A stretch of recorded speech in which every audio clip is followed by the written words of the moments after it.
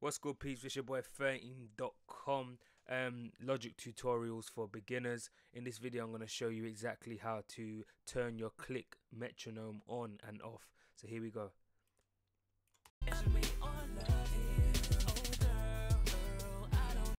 So right here is where the metronome is. It's click. All right. So if we turn that on.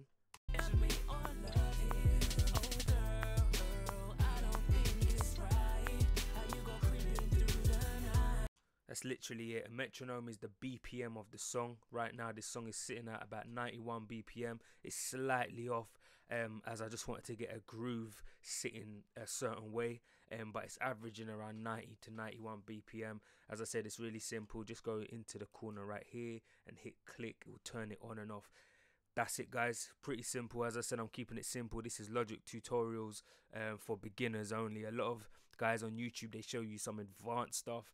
Um, they're talking about waves plugins. They're talking about mixing and mastering. They're talking about bus and um, how to run your vocals through buses. That's fine. We'll get there. But my focus right now is for logic uh, pro for beginners um, and showing you beginners and amateurs how to take your stuff to the next level um, intermediate and then eventually over to the pro. So that's your boy 13 Come signing out. Hit me up. Peace.